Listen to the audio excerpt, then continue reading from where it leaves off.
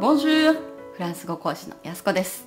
12月はフランス語でそう、デソンブラ。デソンブラ。覚えていましたか？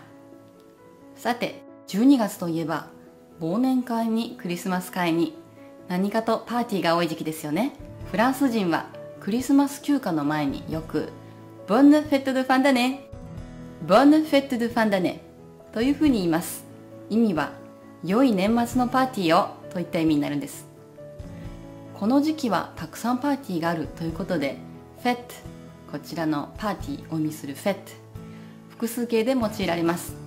そしてこのフェットは女性名詞なので、形容詞ボンヌはこのように女性複数形で表します。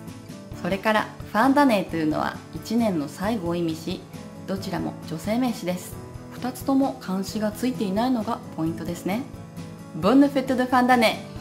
良い年末のパーティーをという言葉。この12月の時期にはよく聞く言葉ですので耳で覚えてしっかり使ってみてください。それでは皆さん体にはくれぐれも気をつけて年末は楽しくお過ごしください。ボンヌフェットドファンダネ。